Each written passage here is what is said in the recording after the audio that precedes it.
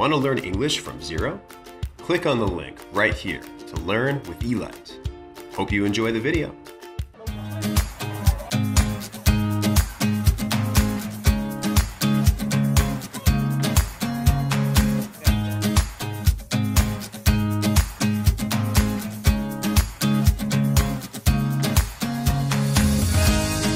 Các bạn đã đoán ra đây là địa điểm nào chưa? Chính xác, đây chính là phố đi bộ nổi tiếng ở Hà Nội Và các bạn có biết phố đi bộ được mở ra từ bao giờ không?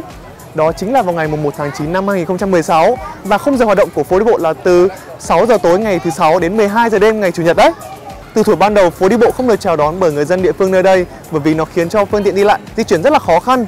Nhưng mà giờ đây thì nó đã trở thành một đặc sản rất là thú vị của người dân Hà Nội rồi. Bởi vì đó là do nơi đây luôn có những hoạt động thú vị và hấp dẫn được diễn ra.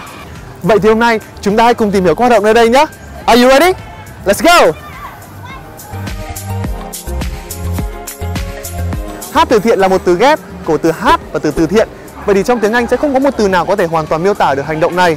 Vậy thì chúng ta muốn nói hành động này chúng ta sẽ nói là charity singing performances.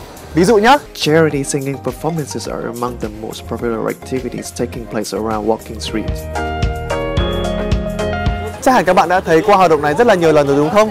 Tuy nhiên có rất là nhiều bạn đang nhầm lẫn giữa cái trượt ván, người trượt ván và môn thể thao trượt ván. Vậy thì ngay sau đây chúng ta hãy cùng tìm hiểu hơn nhé.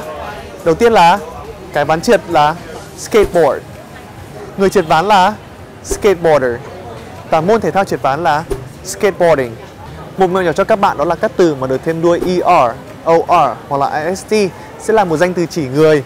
Ví dụ nhé, skateboarder hoặc là arbitrator. Tuy nhiên, không phải nhóm nào cũng như vậy. Ví dụ như là cooker là chỉ nồi cơm điện chứ không phải là đầu bếp.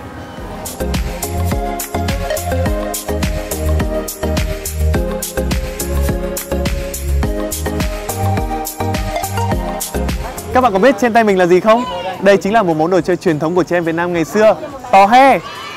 Vậy các bạn có thể thắc mắc là làm thế nào để giải thích cho người nước ngoài biết là tò he trong tiếng Anh là gì không? Vậy thì ngay sau đây mình sẽ bật mí nhé. Đó chính là toy figurine. Đây là một loại hình rất là đặc sắc ở phố đi bộ, đó chính là vẽ chân dung. Và trong tiếng Anh vẽ chân dung là draw portrait. Vậy thì sau khi vẽ chân dung xong chúng ta sẽ có những bức hình như thế này và chúng ta gọi là portrait drawings.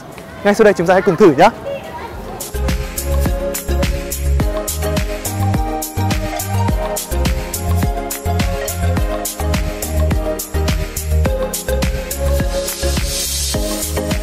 Ta-da! Các bạn ơi, đây là thành quả của mình sau 15 phút chờ đợi. Các bạn thấy thế nào?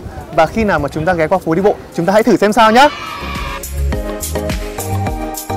Các bạn ơi, không chỉ có vậy thôi đâu, phố đi bộ còn là nơi tập trung của rất nhiều các nhà ảo thuật tài năng nữa đấy. Vậy thì trong tiếng Anh, biểu diễn ảo thuật là gì? Đó chính là doing hoặc là performing magic tricks. Và nhà ảo thuật là magician. Và một hoạt động cuối cùng làm nên nét đặc sắc của phố đi bộ đó chính là các trò chơi dân gian. Các trò chơi dân gian trong tiếng Anh là traditional games. Và chúng ta hãy thử kể tên nhé. Kéo co là tug of war, nhảy dây, rope jumping, bịt mắt bắt dê, blind man's bluff, rồng rắn lên mây, dragon snake, oan quan, mandarin square capturing. Và cuối cùng cờ tướng Chinese chess. Tuy nhiên ngày hôm nay mình đến khá là sớm và các hoạt động vẫn chưa thể diễn ra, thế nên mình sẽ hẹn các bạn vào một dịp sau nhé. Mình rất mong video này sẽ giúp ích cho tất cả các bạn theo dõi. Ngoài ra để học thêm từ vựng, các bạn hãy tham gia khóa học online của Eli tại đây. Còn bây giờ thì xin chào và hẹn gặp lại.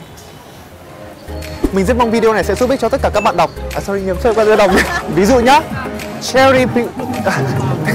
Đi nghe các bạn ơi, không chỉ có vậy thôi đâu. Phố đi bộ. Anh nhìn vào đây buồn cười.